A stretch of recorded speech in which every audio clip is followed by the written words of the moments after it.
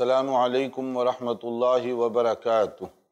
الحمد للہ رب العالمین، وصلی اللہ وسلم علی نبینا محمد وعلی آلہ وصحبہ اجمعین، ومن تبعہ بإحسان الى یوم الدین، اما بعد۔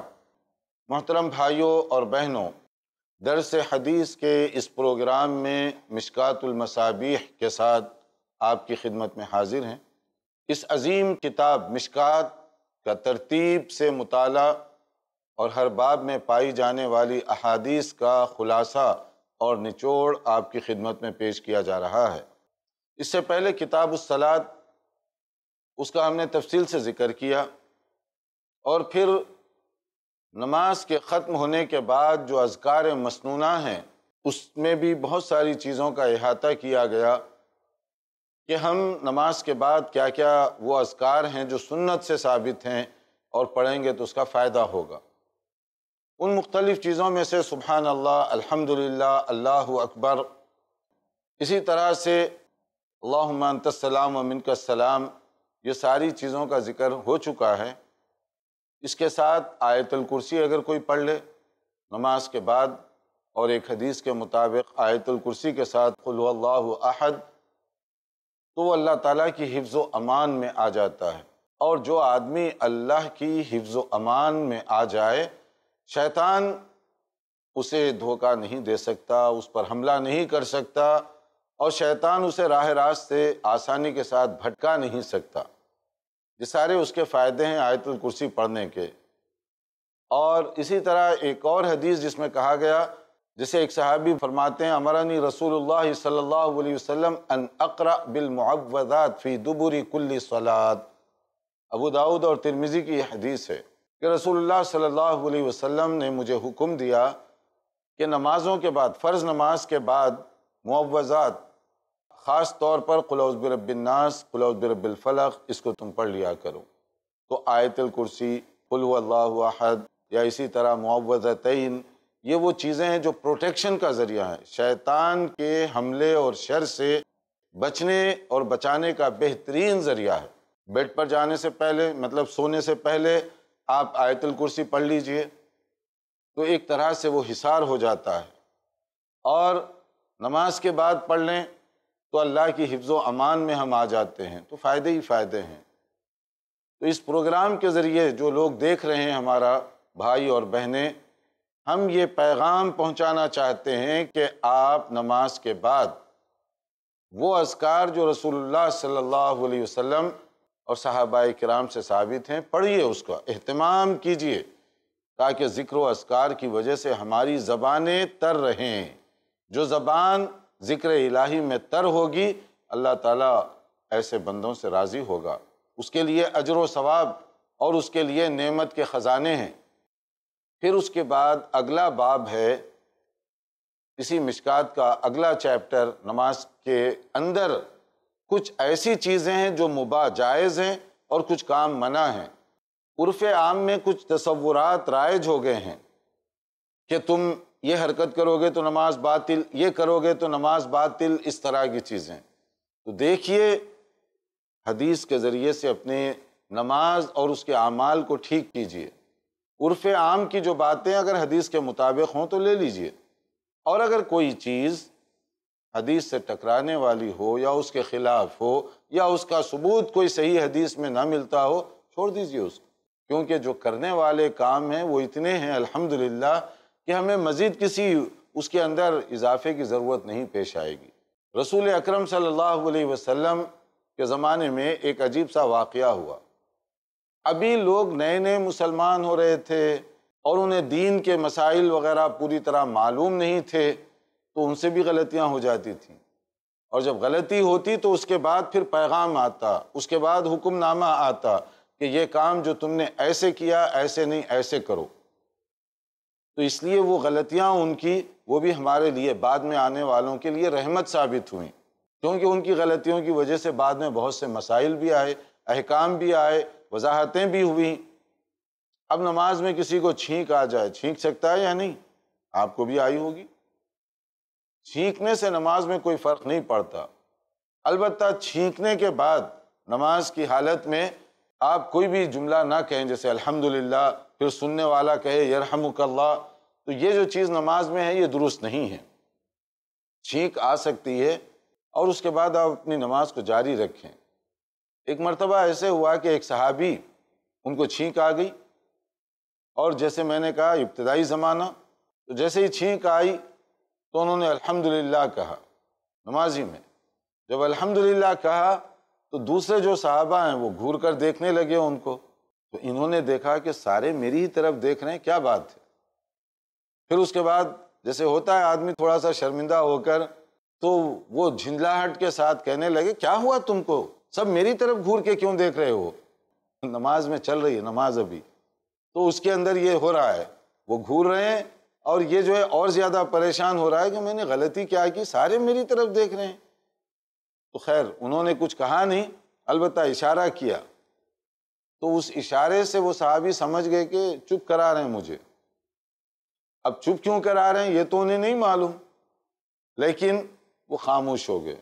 اب نماز کے بعد نبی کریم صلی اللہ علیہ وسلم کو تو محسوس ہو گیا، کچھ گڑبڑ ہو رہی ہے۔ نماز کے بعد آپ نے دریافت کیا، بتایا گیا، ان کو بلایا اور بلانے کے بعد بڑے پیارے، مشفقانہ انداز سے انہیں سمجھایا کہ دیکھو، یہ نماز ہے، نماز میں اس طرح سے نہیں کرتے۔ نہ آپ کو کچھ بولنا چاہیے تھا، نہ انہیں گھورنا چاہیے تھا، نہ جواب دینا چاہیے تھا۔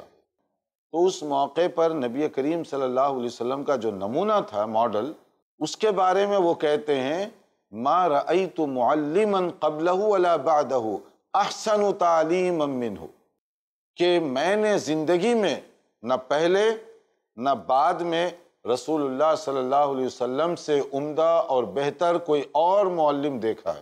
ایسے معلم، ایسے ٹیچر آپ کے علاوہ زندگی میں میں نے کسی کو نہیں دیکھا۔ اس درجے شفقت اور محبت کے ساتھ اپنی بات ذہن و دماغ میں بٹھانے والے۔ یعنی نبی صلی اللہ علیہ وسلم کا انداز، شفقت، محبت، وہ بھی اپنی جگہ۔ پھر سمجھانے کا اسلوب، وہ بھی اپنی جگہ۔ تو وہ کہتے ہیں کہ اتنا پیارا معلم میں نے زندگی میں نہیں دیکھا۔ فواللہ ما کہا رانی ولا دربنی ولا شتمنی۔ کہ اللہ کی قسم میں نے غلطی کی نماز میں۔ لیکن انہوں نے مجھے نہ ڈانٹا، نہ مار کٹائی کی، نہ گالی دی۔ عام طور پہ یہ ٹیچروں کے ساتھ خاص ہے نا کہ بچے غلطی کریں طلبا تو ڈانٹ پلائیں گے یا کبھی مار کٹائی بھی کریں گے یا کبھی ان کو گالی دیں گے، بے عزتی کریں گے، کچھ بھی ایسے کرتے ہیں یہاں۔ بلکہ بعض اوقات تو بہت الٹی سیدھی حرکتیں کرتے ہیں۔ حالانکہ یہ بھی اسلامی آداب کے خلاف ہے کہ ٹیچر اپنے طالب علم کے ساتھ برا سلوک کرے، برے الفاظ استعمال کرے، گالی گلوچ کا معاملہ کرے، یہ ناپسندیدہ چیز ہے۔ ٹیچر کو تو نمونہ ہونا چاہیے۔ اور جب نمونہ قائم کر رہے ہیں تو آپ کون سا نمونہ؟ جیسے بعض لوگ بعض جگہوں پر عجیب عجیب حرکتیں کرتے ہیں کہ اگر کوئی اسٹوڈنٹ کوئی زیادتی کرے، کوئی اس کو مرغا بنا دیتا ہے، کوئی اس کو کچھ اور انداز سے بٹھاتا ہے، کوئی جھڑکتا ہے، کوئی گالی دیتا ہے، نہ جانے کیا کیا کرتے ہیں۔ دیکھیے، یہ سنت کے بھی خلاف ہے۔ اس کے علاوہ تربیتی نقطۂ نظر کے ٹیچنگ کے میتھڈ کے بھی یہ خلاف ہے اس طرح سے کرنا۔ اسی لیے بعض جگہ پر، خاص طور پر جو ماڈرن کالجز یونیورسٹیز ہیں یا جو ماڈرن ایجوکیشن سسٹم ہے وہاں تو سختی کے ساتھ اس سے منع کیا گیا۔ اور یہ چیز قابل قبول نہیں کہ بچے کی آپ توہین کریں یا ایسا انداز اختیار کریں جس سے طالب علم احساس کمتری کا شکار ہو۔ تدریس کا جو طریقہ اور اصول ہے، یہ تو ماڈرن دنیا کے اندر ابھی بنایا گیا، جبکہ رسول اللہ صلی اللہ علیہ وسلم نے چودہ سو سال پہلے ایسا بہترین نمونہ قائم کیا کہ ہزار ہا تجربات کے بعد لوگ وہی سنت نبوی کی طرف لوٹ رہے ہیں۔ ٹیچر بہترین رسول اللہ صلی اللہ علیہ وسلم، مربی سب سے بہترین تربیت کرنے والا رسول اللہ صلی اللہ علیہ وسلم۔ انداز دیکھیں، بدویانہ زندگی کے اندر وہاں سے آنے والا یہ کہہ رہا ہے کہ میں نے اتنا عمدہ ٹیچر، معلم اپنی زندگی میں نہ آپ سے پہلے، نہ بعد میں کسی اور کو نہیں دیکھا۔ اور آپ نے اس پیارے انداز سے اپنی بات میرے ذہن میں بٹھا دی۔ اور یہ صرف انہی کا نہیں، اور بھی مختلف صحابہ جو نئے نئے مسلمان ہو رہے تھے، انہوں نے یہی گواہی دی۔ حالانکہ وہ کہتے ہیں، میں نے ایک سیریس مسئلے پر بات کی۔ آپ نے ڈانٹ نہیں پلائی، گالی گلوچ نہیں دی۔ بلکہ اس انداز سے سمجھایا کہ میں خود سمجھ گیا اور شرمندہ ہوا اپنی جگہ کہ کاش میں یہ بات نہ کیا ہوتا۔ یہ انداز۔ وہ یاد ہے آپ کو پیشاب کرنے والے کے ساتھ؟ آپ نے کیسا معاملہ فرمایا؟ جو صحابہ اس کے ساتھ بھاگ رہے تھے۔ آپ نے صحابہ کو روکا، اس کو کچھ نہیں کہا۔ جب وہ فارغ ہو گیا، پھر اس کو بلایا۔ اور جو ہدایت اور تربیت کی بات اس کو کی، وہ اتنا متاثر ہوا، اتنا متاثر ہوا کہ ایک تو آپ کا گرویدہ ہو ہی گیا اور دوسرے یہ کہ یا اللہ میرے اور محمد صلی اللہ علیہ وسلم پر رحم فرما، بعض صحابہ جو ہدایت ملنے کے بعد عجیب سی دعا ان کی زبان سے نکلی۔ یعنی غصہ تھا دوسرے صحابہ پر کہ یہ لوگ ڈانٹ رہے تھے، غصہ کر رہے تھے اور نبی صلی اللہ علیہ وسلم نے تو کچھ نہیں کہا۔ تو وہ دعا کر رہا ہے کہ یا اللہ مجھ پر اور نبی صلی اللہ علیہ وسلم پر مہربانی کر اور باقی کسی پر نہ کر۔ یعنی مجھے کیا ہے؟ باقی کو ملے نہ ملے۔ میرے ساتھ نبی صلی اللہ علیہ وسلم نے ہمدردی کی، بھولا پن۔ بھولے پن سے وہ دعا کر رہا ہے۔ تو نبی صلی اللہ علیہ وسلم نے فرمایا، تم اللہ تعالیٰ کی رحمت کو محدود کرنا چاہتے ہو۔ اللہ کی رحمت تو بہت وسیع ہے، سب کے لیے دعا کرو۔ یہ کیا کہہ رہے ہیں کہ میرے اور محمد صلی اللہ علیہ وسلم کے علاوہ کسی پر مہربانی نہ کر، ایسے متعدد اور مختلف واقعات ہیں۔ جو یہ بتا رہے ہیں کہ تدریس کا انداز، تعلیم کا انداز، تربیت کا انداز جو رسول اللہ صلی اللہ علیہ وسلم کا تھا، ہر اعتبار سے وہ پرفیکٹ تھا۔ نبی صلی اللہ علیہ وسلم نے پھر اس کے بعد انہیں بتایا کہ نماز میں سوال جواب نہ کرو، نماز میں ادھر ادھر مت دیکھا کرو، نماز میں ایک دوسرے کی تعریف یا ایک دوسرے کے خلاف کوئی بات مت کیا کرو۔ ان لا فیہا شیء من کلام الناس۔ نماز ہے عبادت اور عبادت میں آپس کی گفتگو، بات چیت یہ نہیں کرنا چاہیے۔ انما ہوا التسبیح والتکبیر وقراءت القرآن۔ صحیح مسلم کے الفاظ ہیں کہ نماز میں جو ہے تسبیح پڑھو زیادہ سے زیادہ، تکبیر کرو، اللہ تعالیٰ کی تعریف کرو، قرآن کریم کی تلاوت کرو، یہ سارے کام کرنے والے ہیں۔ آپس کی بات چیت، سوال جواب وغیرہ، یہ سب چیزیں کسی طرح سے بھی نماز میں درست نہیں ہیں۔ اسی طرح نماز کے اندر بعض لوگوں کو آپ نے دیکھا ہوگا کہ ہر تھوڑی دیر بعد اپنا کپڑا ٹھیک کرتے ہیں۔ ہر تھوڑی دیر کے بعد جب سجدے میں جاتے ہیں تو پھر وہ سجدے کی جگہ کو صاف کرتے رہتے ہیں۔ یہ حرکت جو ہے نماز کے آداب اور خوشو کے منافی ہے۔ اس سے خوشو کنسنٹریٹ نہیں کر سکتا آدمی۔ کہ ہر تھوڑی دیر بعد ٹوپی سیدھی کر رہے ہیں یا کبھی چشمہ ٹھیک کر رہے ہیں، کبھی گھڑی باندھ رہے ہیں، کبھی کچھ کر رہے ہیں۔ نماز میں یہ جو اس طرح کی حرکتیں ہیں، یہ آداب سلاد کے خلاف ہیں۔ آداب سلاد کا تقاضا ہے کہ یہ سب نماز سے پہلے کر لو اور نماز جب شروع کریں تو بالکل توجہ ایک سوئی کے ساتھ نماز ادا کرو۔ ایک مرتبہ ایسے ہوا، مٹی کا تو تھا فرش مسجد نبوی کا، کوئی صحابی نماز پڑھ رہے تھے اور وہ جب سجدے میں جاتے تو مٹی تھوڑی سی ٹھیک کرتے۔ شاید وہ سجدے کے لیے، آسانی کے لیے اس طرح کر رہے ہوں۔ پھر یعنی نبی صلی اللہ علیہ وسلم نے ان کے بارے میں کہا، جو مٹی کو صاف کر رہا تھا کہ اگر تمہیں ان کن فاعلا فواحدتا اگر کسی وجہ سے وہ تنکا وغیرہ ہے یا کوئی تکلیف دینے والی چیز جیسے کنکر وغیرہ زیادہ موٹے وہاں پڑے ہوئے ہوں اور سجدے میں آپ کی پیشانی کو اس کی وجہ سے تکلیف ہو رہی ہو، تو آپ نے فرما ایک مرتبہ صرف اجازت دی جاتی ہے ایک مرتبہ ہٹا دو۔ بار بار ہر سجدے میں سجدے سے پہلے زمین کو ٹھیک کرنا، سجدے سے پہلے صاف کرنا یہ درست نہیں۔ اسی لیے نماز سے پہلے جگہ کو دیکھ لو۔ اگر کوئی چیز صاف وغیرہ کرنے والی ہو، پہلے کر لو۔ نماز شروع کرنے کے بعد اتفاقیہ کوئی چیز ہو تو اس کی اجازت ہے کہ ایک آدھ بار صاف کر دیا اور پھر اس کے بعد توجہ کے ساتھ نماز۔ اور ایسے ہی نماز کی حالت میں اگر کوئی آدمی ہاتھ باندھنے کے بجائے ایسے کمر پر ہاتھ باندھ کر ٹھہر جاتا ہے، کمر پر ہاتھ رکھ کر، تو یہ جو اس طرح کا اسلوب ہے، کمر پر ہاتھ رکھ کر کھڑے ہونا، یہ نماز کے آداب کے سنت کے خلاف ہے۔ نماز کا ادب یہ ہے کہ ہاتھ باندھ لے آدمی۔ نظر اس کی سجدہ گاہ پر ہو یعنی جہاں پر وہ سجدہ کر رہا ہے، وہاں پر اس کی نظر ہو، تاکہ وہ خوشو کی جو کیفیت ہے وہ باقی رہے۔ ہاتھ اس طرح سے کرنا یہ بھی خلاف ہے۔ نہا عن الخصری فی الصلاة، کہ نبی کریم صلی اللہ علیہ وسلم نے کمر پر اس طرح ہاتھ رکھنے سے منع فرمایا ہے۔ اور ام المؤمنین، عائشہ رضی اللہ تعالیٰ عنہ فرماتی ہیں کہ بعض لوگ کبھی کبھی آسمان کی طرف دیکھا کرتے تھے۔ نماز پڑھتے ہوئے۔ ابھی آپ نے بھی اپنے آس پاس میں دیکھا ہوگا، خاص طور پر جنازے کے موقع پر۔ لوگ جو ہے، جیسے ہی اللہ اکبر کہتے ہیں امام صاحب، تو وہ آسمان کی طرف دیکھتے ہیں۔ تو آسمان سے کیا، ستارے گننا ہے؟ یا آسمان کی طرف اس موقع پر دیکھنے کا مطلب کیا ہے جب نماز شروع ہو گئی؟ نماز میں نظر نیچے ہونی چاہیے۔ چاہے جنازے کی نماز ہو، عیدین کی نماز ہو، جمعہ کی نماز ہو، فرض نماز، سنت، نوافل، تمام نمازوں میں ادب ایک جیسا ہی ہے۔ یعنی سامنے دیکھو، جہاں سجدہ کرنا ہو، وہاں پر آپ کی نظر ہو۔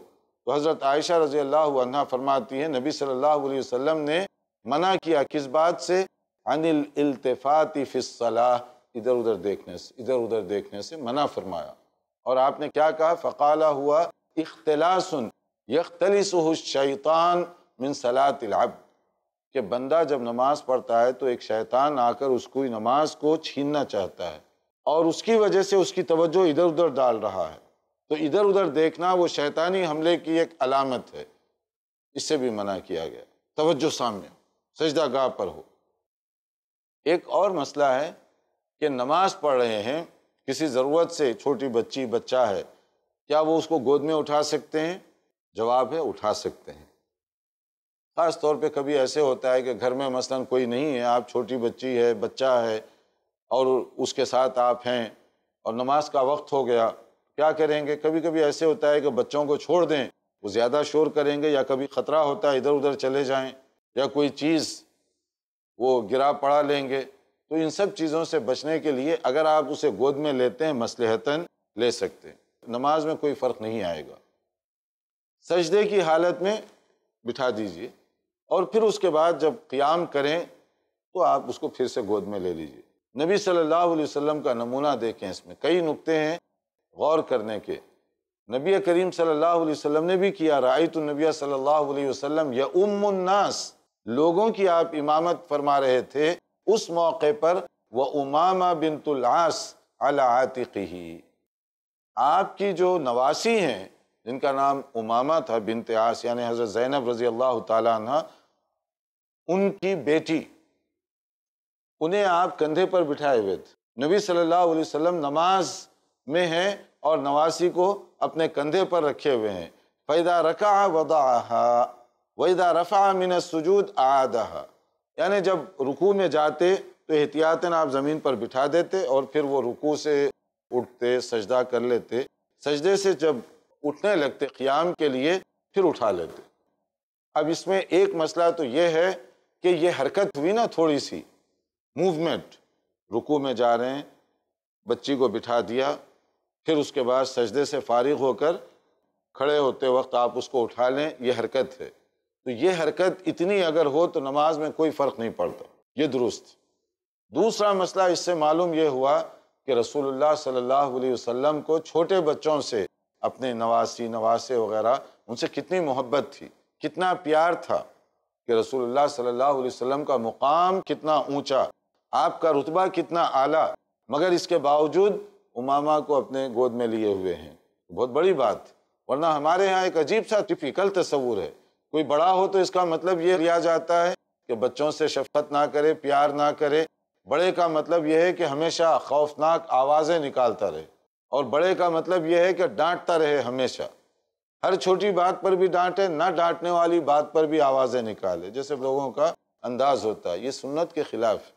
کہ نبی کریم صلی اللہ علیہ وسلم کس طریقے سے بچوں کے ساتھ پیار اور شفقت کا معاملہ کیا کرتے تھے۔ اور یہ بھی تربیتی انداز ہے بہت بڑا کہ اس کے ذریعے سے بچوں کی جو بہترین تربیت ہوتی ہے، ان کی ذہن سازی ہوتی ہے۔ ہر بات میں ڈانٹیں گے، ہر بات میں مارنے کی طرف دوڑ پڑیں گے تو کیا بچوں کو اس کا اچھا اثر پڑے گا؟ نہیں اچھا اثر نہیں پڑے گا۔ تو یہ بھی نقطۂ نظر ہے اس میں دیکھنے کا، یہ بھی سنت ہے۔ کہ رسول اکرم صلی اللہ علیہ وسلم کو بچوں سے کس انداز کا پیار تھا اور کتنی شفقت کے ساتھ آپ ان کے ساتھ پیش آیا کرتے تھے۔ پھر اس میں یہ نقطہ بھی ہے کہ اگر امام بھی اس طرح سے بچے کو اٹھایا ہوا ہو، تو اس کی نماز میں یا پیچھے پڑھنے والوں کی نماز میں کوئی خلل نہیں پیدا ہوتا۔ البتہ یہ مسئلہ اپنی جگہ ہے ضرورتاً۔ لیکن اگر کوئی آدمی اپنے مسجد کے لیے آ رہا ہو، امامت کے لیے آ رہا ہو اگر اس کا گھر میں انتظام ہو تو پھر ٹھیک ہے۔ تفریحاً بچے کو لے آنا یہ نہیں ہے کہ آپ تفریحاً بچوں کو گھر کے بجائے مسجد میں لائیں اور پھر مسجد میں جب نماز شروع ہو تو چھوڑ دیں بچوں کو۔ یہ ویسے بھی آداب مسجد کے خلاف ہے۔ ضرورتاً یہ چیزیں درست ہیں۔ اور جب لائیں تو ان کی لک آفٹر بھی آپ کیجیے۔ ان کی دیکھ بھال بھی آپ کیجیے۔ آپ کے بچے ہیں، لائے اور چھوڑ دیے۔ اور جب نماز شروع ہوئی تو بچے جو ہے صفوں کے درمیان بھاگ رہے ہیں، کھیل رہے ہیں۔ تو اس سے دوسرے جو نمازی ہیں، ان کو ڈسٹرب ہوگا۔ اگر لائیں تو اس کی خیال رکھیے کہ مناسب جگہ پر ان کو بٹھائیں یا اس طرح کا کوئی انتظام ہو کہ وہ نماز میں کسی کو، دوسروں کو خلل نہ ڈال سکیں۔ پھر ادھر ادھر دیکھنے کے بارے میں اور خاص طور پر دعا یا تکبیر کہتے ہوئے، جیسے ہم نے کہا کہ اس سے منع کیا گیا بلکہ نہ صرف منع کیا گیا بلکہ ایک وارننگ بھی دی گئی۔ اور وہ وارننگ بڑی سخت ہے کہ نماز میں ادھر ادھر دیکھنے سے اللہ تعالیٰ تمہاری نظروں کو اچک لے گا۔ ناراضگی کا اظہار۔ غصے کا اظہار بہت سخت۔ کہا گیا لَيَنْتَهِيَنَّ أَقْوَامٌ أَن دَفْعِهِمْ أَبْصَارَهُمْ عِنْدَ الدُّعَاءِ فِي الصَّلَاةِ إِلَى السَّمَاءِ۔ کہ لوگوں کو بچنا چاہیے اس بات سے کہ وہ دعا کے موقع پر یا نماز کے موقع پر خاص طور پر آسمان کی طرف دیکھ رہے ہیں۔ اس سے جو ہے ایسا نہ ہو کہ تمہاری بینائی سلب کر لی جائے۔ سخت ناگواری کا جملہ ہے دراصل کہ اس طرح سے دیکھنا نماز کے آداب کے خلاف ہے۔ تو بہت سارے لوگ عموماً نماز میں توجہ جدھر رکھنی چاہیے وہ توجہ ادھر نہیں دیتے اور اس طرح سے نہیں رکھتے بلکہ ادھر ادھر ان کی توجہ ہوتی ہے جو نماز کے آداب کے خلاف۔ پھر ایک اور مسئلہ ہے، بعض لوگوں کو آپ نے دیکھا ہوگا کہ نماز پڑھتے وقت جمع ہی لیتے ہیں۔ ایسے منہ کھول دیا بڑا سا، جیسے نیند سے ابھی اٹھے ہوئے ہیں۔ سستی اور کاہلی کا غلبہ ہے۔ نیند کی وجہ سے جیسے بار بار منہ کھلتا رہتا ہے۔ یہ ایک تو مجلس کے آداب کے خلاف، نماز کے آداب کے خلاف۔ اگر آپ کو جماعی آ ہی رہی ہے، پہلے تو کوشش کریں روکنے کی۔ اور اگر ضروری ہو گیا، منہ کھل گیا، ہاتھ رکھ لیں اس پر۔ کیونکہ اس طرح کا منظر لوگ جو مجلس میں بیٹھے ہوئے اگر بیٹھے ہوئے ہوں، دیکھنے والوں کو بھی اچھا نہیں لگے گا اس طرح منہ کھول دینا لوگوں کے سامنے۔ آداب کے خلاف ہے۔ اور اسلام اتنا شائستہ دین ہے، اتنا مہذب دین ہے کہ مجلس کے آداب، لوگوں سے ملنے جلنے کے آداب، نماز کے آداب بہت کھول کھول کر بیان کیے گئے۔ آپ لوگوں کا خیال رکھیں، ان کے جذبات کا خیال رکھیں، کوئی ایسی حرکت نہ کریں جس کی وجہ سے دوسروں کو تکلیف پہنچے۔ تو منہ کھولنے سے پہلے ہاتھ رکھ لیں تاکہ جو ہے وہ اس طرح سے دوسروں کو یہ برا نہ دکھائی دے۔ اور نماز کے اندر بھی اگر ایسی چیز ہو تو پھر کوشش کریں کہ جتنا پہلے تو منہ نہ کھلے اس طرح سے۔ اور اگر کبھی ضروری ہوا جتنا کم ہو سکتا ہے اتنا کم۔ کہا گیا، اذا تصاب احدكم في الصلاه فليكزم ما استطاع فان الشيطان يدخل۔ صحیح مسلم کی حدیث ہے کہ جب اس طرح سے ہو، منہ ایک دم نہ کھولو کہ شیطان اندر داخل نہ ہو جائے۔ احتیاط کیجیے۔ نماز کے اندر، نماز میں ٹھہرے ہوئے بار بار منہ کھول رہے ہیں۔ یعنی اتنی سستی کے ساتھ نیند کی حالت میں کس نے کہا کہ آپ کو نماز ادا کریں؟ اگر اتنی زیادہ سستی اور غفلت ہے۔ اور دوسری طرف کیا ہے؟ یہ چیزیں ہوتی بھی عام طور پر خوشو نہ ہونے کی وجہ سے۔ اگر خوشو ہو اور اس تصور سے آپ ٹھہریں کہ اللہ رب العالمین کے آگے میں ٹھہرا ہوا ہوں۔ کچھ مانگنے کے لیے، کچھ عرض کرنے کے لیے، تو پھر اسی تصور کے ساتھ آدمی کے اندر توانائی پیدا ہوگی۔ جیسے آپ کسی ذمہ دار سے گفتگو کریں، ایسا تو نہیں ہوتا کہ بار بار منہ کھول رہے ہیں اس کے سامنے۔ آپ خود کوشش کرتے ہیں کہ بعد اب بات کریں، طریقے اور سلیقے کے ساتھ گفتگو کریں۔ جب ایک عام بڑے آدمی کے سامنے آپ اس طرح کا خیال رکھتے ہیں تو اللہ رب العالمین جو سب کا رب ہے، اس کے آگے ٹھہریں اور وہاں کوئی خیال نہیں، اور وہاں پر آپ کو کوئی تہذیب وغیرہ، کوئی اس طرح کا انداز نہیں اختیار کرنا چاہیے۔ اسی طرح سے بعض لوگوں کو آپ نے دیکھا ہوگا کہ مسجد میں بیٹھے ہوئے ہیں اور وہ کھانسی، اس طرح کی تھوکنا یہ جو آداب مجلس کے بھی خلاف سننے، دیکھنے والوں کے لیے بھی ناگوار دکھائی دیتے ہیں۔ ان میں خود بخود آدمی کو مہذب ہونا چاہیے۔ اگر آپ چاہیں تو اس موقع پر جتنا مہذب طریقہ ہو سکتا ہے اس کو اختیار کریں تاکہ اس کی وجہ سے کسی کو کوئی تکلیف نہ ہونے پائے۔ اس سارے چیپٹر میں آپ نے دیکھا کہ وہ چیزیں جو نماز میں کبھی پیش آ جاتی ہیں اور اس کے آداب کیا ہیں وہ بتائے جا رہے ہیں کہ بعض اوقات بعض حرکت ایسی ہے جس سے نماز پر کوئی فرق نہیں پڑتا اور کبھی ایسے کام جو نماز کے آداب کے خلاف ہیں، دونوں اس کے اندر ذکر کی گئی ہیں اور بھی اس کے اندر کچھ مسائل ہیں جس کا ہم انشاءاللہ تعالی اگلے پروگرام میں ذکر کریں گے۔ انتظار کیجیے ہماری اگلی نشست کا۔ والسلام علیکم ورحمۃ اللہ وبرکاتہ۔